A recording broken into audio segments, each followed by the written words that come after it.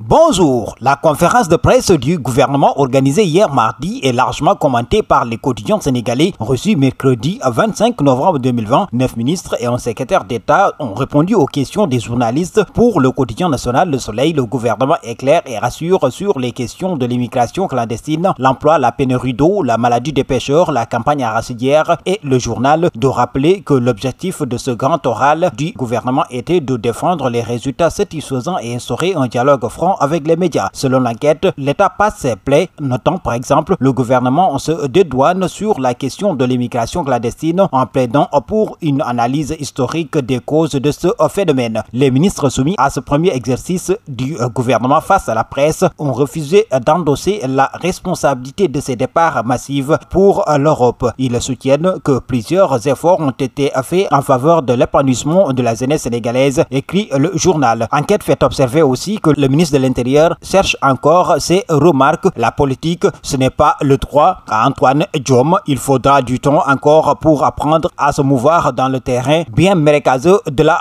politique, dit le journal. Dans l'ensemble, le gouvernement face à la presse était un exercice qui s'annonçait périlleux, mais à l'arrivée, ça s'est bien passé dans l'ensemble. Très à l'aise sur certains dossiers, le gouvernement cherche à tergiverser sur d'autres. Selon l'enquête, le témoin estime qu'il n'y a rien de neuf sous le soleil attendu sur des sujets brûlants de l'heure, notamment l'immigration clandestine, l'emploi des jeunes, la maladie mystérieuse apparue à Tiaroy-sur-Mer, les élections locales, entre autres sujets. Le gouvernement du Sénégal s'est dédouané par rapport à la mort de nos compatriotes en mer, écrit le journal. Selon le témoin, les poulains de Macky Sall ont également esquivé certains sujets, notamment la date de la tenue des élections locales, tout en faisant des révélations sur la maladie mystérieuse découverte à Tiaroy-sur-Mer. Le gouvernement livre ses parts de vérité sur les questions de l'immigration clandestine, l'emploi des jeunes les accords de paix selon l'I quotidien alors que le quotidien parle de vagues d'explications sur l'immigration, la Covid-19, le sucre, etc. La tribune estime que certains ministres ont passé l'examen avec brio devant le jury de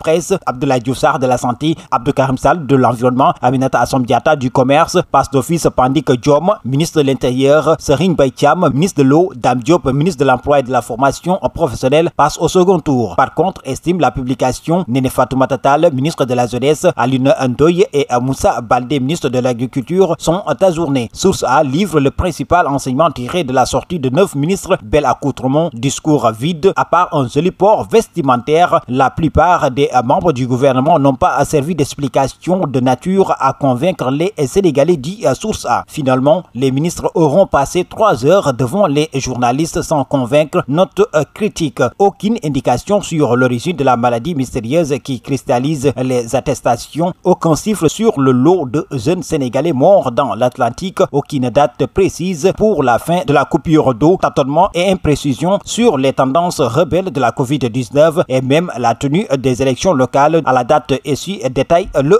journal. Sud Cotillon parle de grand saut, saut tout saut, livre l'As Cotillon qui estime que le gouvernement était entre approximation, incertitude et justification selon le journal. Serine Baïtiam avoue l'impuissance de l'État du Sénégal à régler le problème de l'eau. À vos journaux et très bonne lecture à toutes et à tous.